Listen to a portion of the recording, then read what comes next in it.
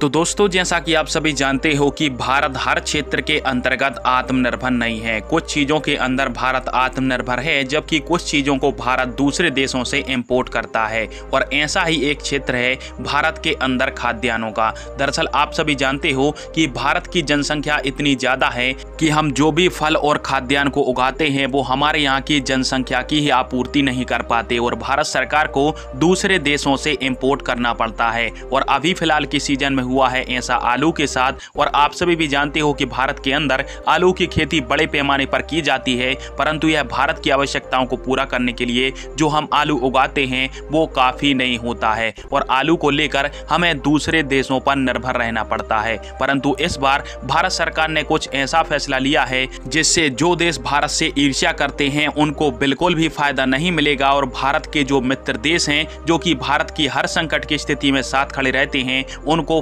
होगा। दरअसल, स्क्रीन पर आप सभी एक स्क्रीनशॉट देखिए, जिसके माध्यम से ऐसी जानकारी दी गई है कि भारत सरकार की तरफ़ से अपने मित्र भूटान से आलू के इम्पोर्ट्स की अनुमति दे दी गई है। और यह जो अनुमति है, वो जून 2023 तक के लिए है। और तब तक भारत का जो खुद का आलू है, वो अपने मार्केट में आ जाएगा। और ऐसा करने के पीछे भारत सरकार के लिए बहुत ही बड़ी वजह थी, क्योंकि हमने जो आलू उगाया था, उसका जो स्टॉक है भारत के पास, वो कुछ ही महीनों का बचा हुआ है। और यदि भारत के अंदर आलू की किल्लत आई तो आलू के लिए जनता को इधर उधर भटकना पड़ेगा। और साथ में आप सभी भी जानते हो कि भारत जो अपने यहाँ पर आलू उगाता है, उसकी फ़सल अप्रैल, मार्च तक आती है, और इसीलिए भारत सरकार को भूटान से आलू के इम्पोर्ट्स के लिए राज़ी होना पड़ा। क्योंकि भूटान से यदि भारत के यहाँ पर आलू आएगा तो भारत के यहाँ पर आलू का स्टॉक मेंटेन बना रहेगा, और साथ में जो कीमतें हैं, वो भी घरेलू स्तर पर बढ़ नहीं पाएँगी। और भूटान से आलू खरीदने का सबसे अच्छा फैसला यह है कि भूटान हमें अपने अपनी अच्छी क्वालिटी का जो आलू है,